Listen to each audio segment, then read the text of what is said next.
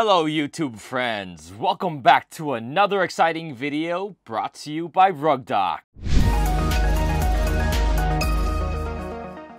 Yield farms, NFTs, and meme coins. Ah, these could be amazing, you can create your own project and reap millions of dollars. Hey, that's pretty good. So how do you actually do this? It all starts with a little programming language called Solidity.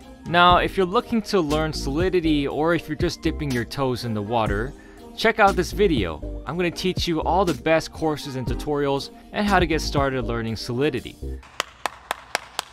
So let's get into coding. Solidity is the main programming language that you need to learn to write smart contracts and blockchain dApps. But hold on a minute, if you're new to programming, you might not want to actually start with Solidity.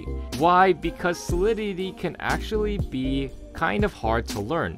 It might look deceptively simple on the surface, but it's a lot harder than, say, your basic HTML and CSS. In fact, if you don't know any programming at all, it might actually be worth studying Python instead. To study Python, you can check out this amazing Python education subreddit on reddit.com. In here, you'll find a ton of links and a ton of resources to get started on Python. And after learning a bit about Python, you can then move on to Solidity and it'll make a lot more sense. By the way guys, if you like this type of content, make sure to subscribe and like the channel to help us bring you more exciting content. And if you want a link to all the exciting resources I'm going to talk about in this video, definitely check out the description. Okay, so you want to really learn Solidity. Now, the first thing you want to do is maybe check out this awesome game called CryptoZombies.io. Crypto Zombies is an interactive school that teaches you all things technical about blockchains. You can learn to make smart contracts in Solidity or Libra by making your own crypto collectibles game. Now on the surface, it looks like a game, but you can actually learn a lot about crypto zombies. The interface is really nice, and there's a lot of different interactions with the website itself. For example, you can customize this nice little zombie using different sliders here, and then see how Solidity programming can actually change the look of your zombie.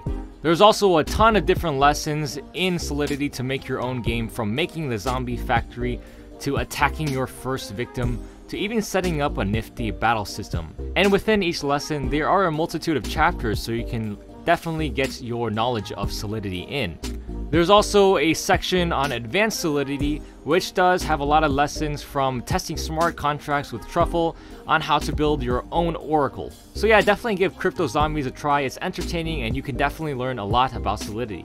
The next resource is another fun game called Capture the Ether. It's a game in which you can hack an Ethereum smart contract and learn about security, but probably don't use this to hack any yield farms. So this game looks quite simple at first, but you can actually complete a series of challenges in different categories. And when you complete them, you earn points for every challenge you complete. Pretty awesome, right?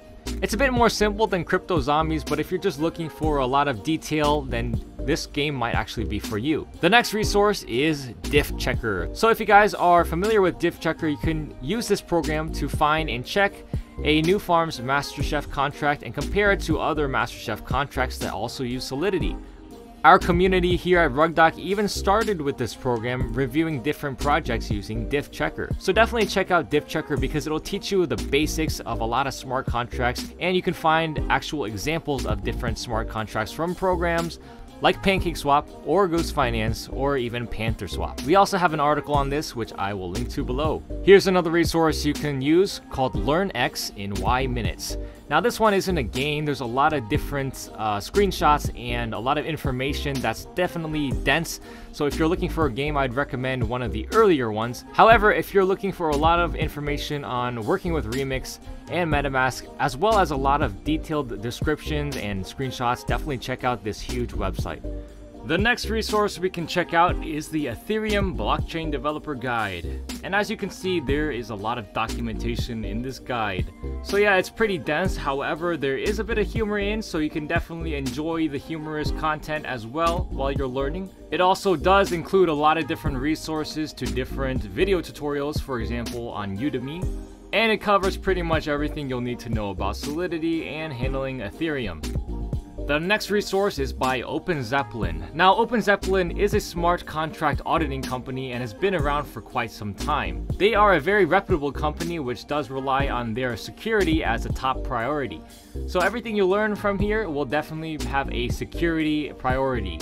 In their Learn tab, you can see they have a lot of different modules from setting up a node project to connecting to a public test network to even upgrading smart contracts. And the last resource we'll take a look at is 1729. In this website, 1729, you can actually learn and even earn crypto. Of course, everyone loves to earn crypto. Now, if we look at their past tasks, you can see that there are different tutorials that you can learn about and different amounts of money you can earn from, let's say $100 even up to $100,000. Now there are a lot of different tasks, not only crypto based. For example, this one is review the book Indistractable. Good tweet length reviews earn $10, longer reviews earn $100. So yeah, basically all you have to do is read a book and review it, and then you can earn $100 along the way. Now besides reviewing books, there are more solidity and programming based challenges. For example, like create a chatbot with a few lines of code, or crowdsource tools for open science, or even help teaching developers how to build DeFi apps on Solana. So yeah, there are a ton of tasks here and you do get real money, so if you want some extra cash and to learn something, definitely check out 1729. Now there are some more resources you can check out on our article here. Definitely check out the link below for a list of Solidity resources. And I hope you guys actually take some time to learn about this amazing language where you can create any kind of crypto project your heart desires. And as always guys, subscribe and like this video for more amazing DeFi content and have an amazing day. Stay safe out there in the DeFi world.